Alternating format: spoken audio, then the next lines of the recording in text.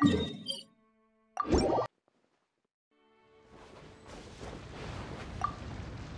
there, I'm back.